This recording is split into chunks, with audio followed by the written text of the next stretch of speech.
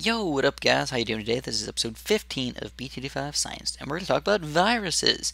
So viruses are actually a really interesting topic, and I think we're going to go into a lot of the basics today, nothing too crazy and specific. Uh, I'll try and stay away from specifics as much as possible. I'm trying to keep this for high school students, maybe a little bit lower than that, maybe a little bit higher, you guys can learn some stuff as well. But if you don't know anything about viruses, this is more for you. If you know a lot about viruses, probably not so much.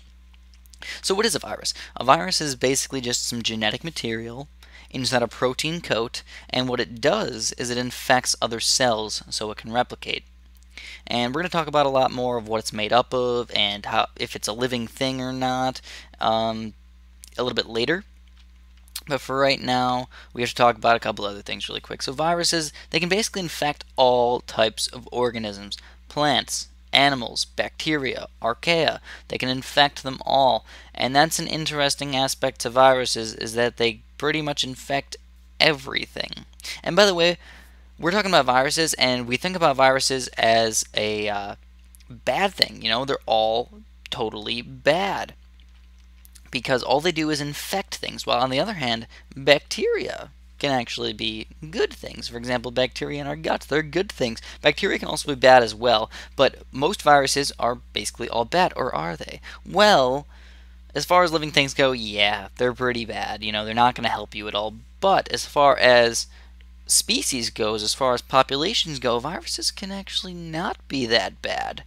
Uh, they're actually super important for how we know life today, specifically having to do with evolution. Because what happens is they increase horizontal gene, gene transfer, which increases diversity over time. So, you probably don't realize it, but what viruses do is oftentimes they actually put genetic material inside of your cells, sometimes on accident, sometimes on purpose, but this genetic material can, of course, affect the organism, and over time it just leads to a little bit of evolution, basically because that little bit of genetic material doesn't do anything and it can evolve to maybe do something over time. So how did, how did viruses actually come to exist? We don't really know. We don't know exactly. Uh, we probably know this even less than we know about bacteria, but what we think happened is they probably evolved from some sort of plasmids. So bacteria normally have a really big circular chromosome that has pretty much all of the genetic material. But also they have things things called plasmids, which they help with it, which which they share between bacteria and things like that. And what happened is these plasmids could have maybe maybe had quite a few genes that maybe made some sort of virus type of thing. It was probably a protovirus, something we don't really completely understand how it happened or anything, but that's the basic understanding of how it happened. Also, we think maybe a bacteria just evolved into a virus. So uh, it's kind of confusing on how that could have happened, and just kind of weird thinking about those types of things, but it is possible. So, how are viruses spread? Well, viruses can be spread in a bunch of different ways. They can be spread through pretty much any sort of bodily fluid. Of course, most viruses aren't spread through all bodily fluids. They're more along the line of certain types of bodily fluids, especially especially blood, guys. Blood is the main carrier of viruses.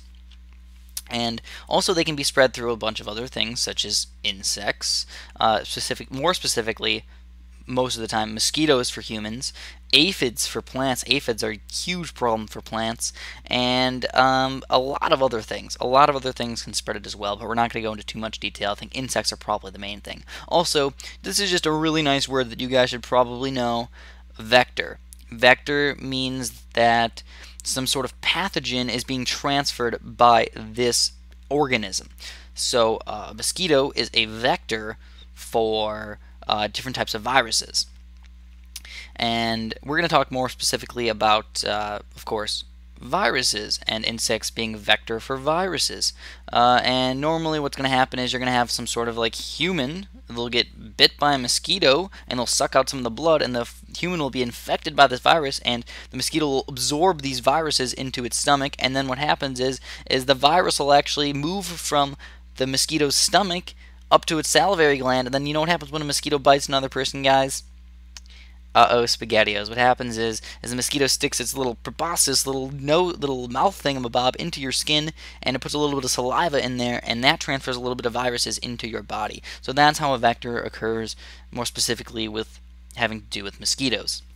And I actually took an entomology course, and that's how I know a lot about those mosquito things. And I thought that was actually probably one of the most interesting classes I've ever taken. The next thing is is probably the biggest question about this entire video. Probably the quadrillion dollar question. Not really, not really, because you're not going to get any money if you answer this question because it's completely debated and you can't actually have a finite answer. But are viruses living? This is an interesting question. I think most people, if they're watching this video, they're probably going to say no, viruses are not living. But this is a really, really hard question to answer.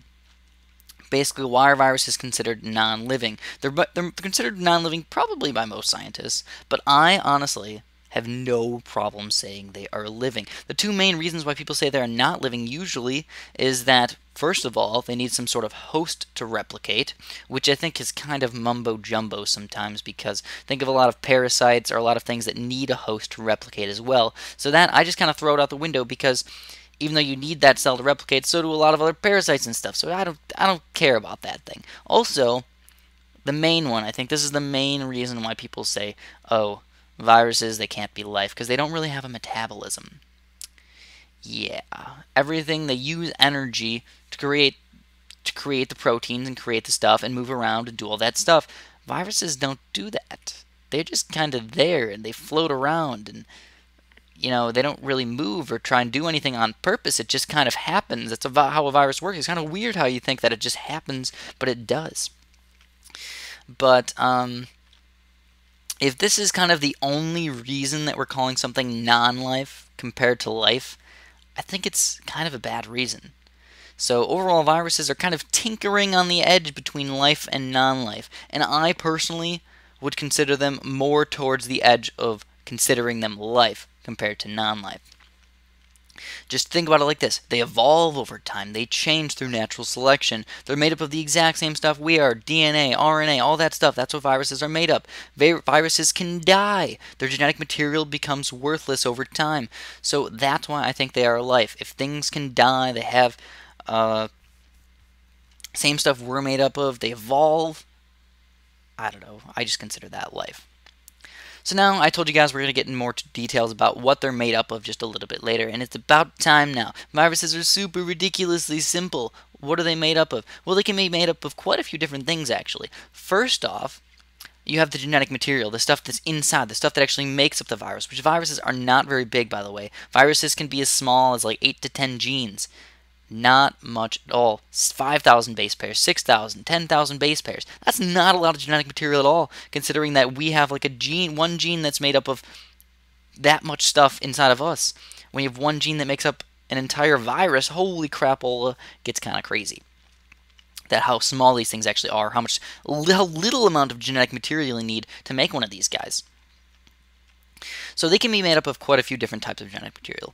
Uh, you guys probably heard of DNA. They can be made of double-stranded DNA, but that's not even very common. Normally they're made up of plus-strand RNA, negative strand RNA. Those are probably the two most common. They can also be made up of just one strand of DNA, so they can be made up of plus strand DNA or negative strand DNA um, or double stranded RNA. So we don't really think about double-stranded RNA ever even existing, but it does exist inside of viruses. Now these things are not that common. Sometimes they're only in one or two couple families of viruses or classes of viruses or even species, I guess you can consider species of viruses. But overall, the genetic material is actually very different compared to what we're used to as life as well.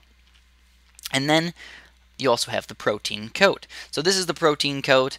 Uh, protein coat basically covers up all that little genetic material and kind of protects it. That's all it does. We also call this a capsid. So that's the capsid is just the protector of the genetic material. And what happens is, is you have, like I said, like 8 to 10 genes. Uh, and oftentimes you have like one or two of those genes actually just make up the capsid. So uh, you'll have one of those one or two of those genes make a protein that the protein connects together and you eventually get the genetic material inside of these proteins that should connect together into the fully formed virus. Also, there's a third part to some viruses. There's this thing called the envelope. So the envelope also helps protect it beyond the protein coat. And how they get the envelope is that some of them, when they're leaving the cell, they basically just bubble off of the cell, and they'll uh, uh, just steal some of the envelope, some of the little fluid layer at the end of the cell. and they'll steal that, and that's what helps protect the virus a little bit more. Not all of them do this. Uh, I'd, I'd say, I don't know. I don't know exactly how many exactly. I'd say probably 60, 70% probably do have an envelope, but that's more of a guess than anything, so uh, don't quote me on that. So, anyways, if you guys found this at all interesting, if you find viruses interesting, uh, please subscribe to my new science channel because I'm not going to talk very much more about viruses on this channel. But when I get my new science channel, I think viruses are a very interesting topic, and I would definitely like to hear some. Uh, uh, suggestions on what types of viruses you'd like me to talk about, or any more anything more specific you'd like me to talk about. Always suggestions, comments, all that stuff. Appreciate it a bunch. Please put some stuff down there. It really helps me out. Thanks for watching, and have a great day.